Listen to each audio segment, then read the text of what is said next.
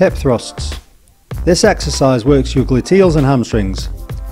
It is known to be the best exercise to recruit your gluteus maximus muscle. On your back rest your upper back onto a bench or something solid and stable.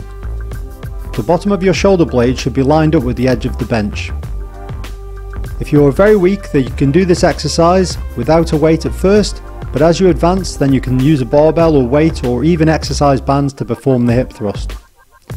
The bar, weight or band should be positioned in the crease of the hip with the hands holding the bar or weight in position throughout the movement.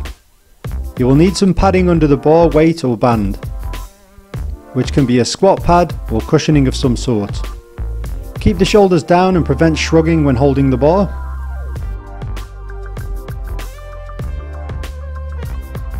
You can hold the bar with hands up or down positions, but don't let the bar slide forward or backward during the hip thrust. Obviously with the exercise band you need to anchor the band ideally to the floor underneath your hips. Your feet should be hip width apart and in the up position your shin should be vertical.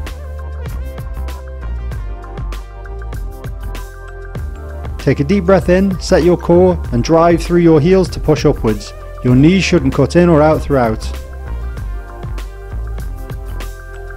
Focus on moving the weight with your glutes and not the lower back or hamstrings. Do not arch the lower back at the top, but squeeze your buttocks hard at the top. Now slowly lower the weight under control, keeping tension in your glutes. For strengthening, you should perform 6 to 10 reps to fatigue.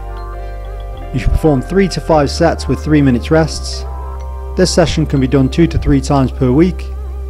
For endurance, you should perform 15 to 25 reps to fatigue you should perform 3 to 5 sets with no more than 30 seconds rest.